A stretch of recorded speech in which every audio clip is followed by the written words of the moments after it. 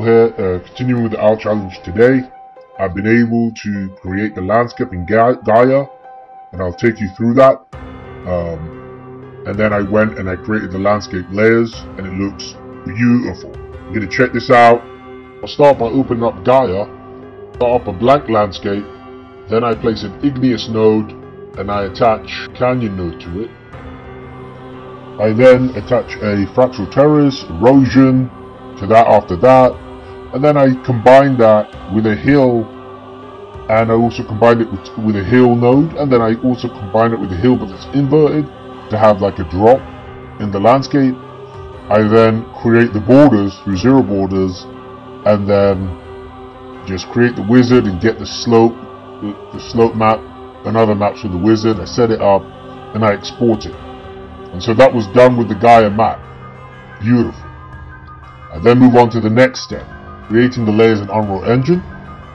And then I created two layers, which is a slope layer and the flow layer, because I'm going to have a flow map and, and I've already created a flow map and a slope map in Gaea.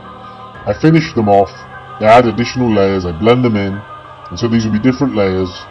And then I import them with the map, uh, import the map, and attach those layers to it, and you get a beautiful result. And then all I do is I tweak each layer's sort of um, materials, uh, you know, the, the base materials, the sort of settings, and then I have the final result pretty quickly. And um, yeah, it's amazing result I've got now. And this is just going to be the basis and foundation. I'm really happy with what I have. This was a quick video because um, I just cut. I wanted to cut short, show the results for it. But yeah, the next video, um, next video, I'll be adding the grass and some water. So that'll be kind of nice. I'm ahead of schedule, by the way. So the island is looking really miserable at this point. Um, I believe the biggest challenge will be just adding the, creating my own weather and adding that onto it by the end of that. And then, of course, adding the procedural foliage. Uh, but it will be a nice challenge, but I'll enjoy every bit of it. Yeah, so thanks, guys. The house stinks. It's filled with crap. It's failing in every level.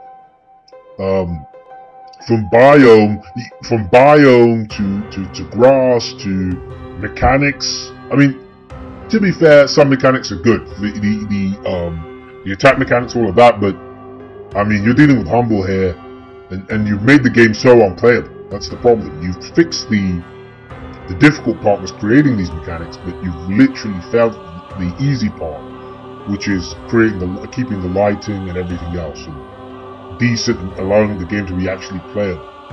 Um, anyway, enough of that rant against the Isle. Um, they'll pay the price um, soon enough. Uh, I'll let you guys go. Pretty happy. See you guys. Peace.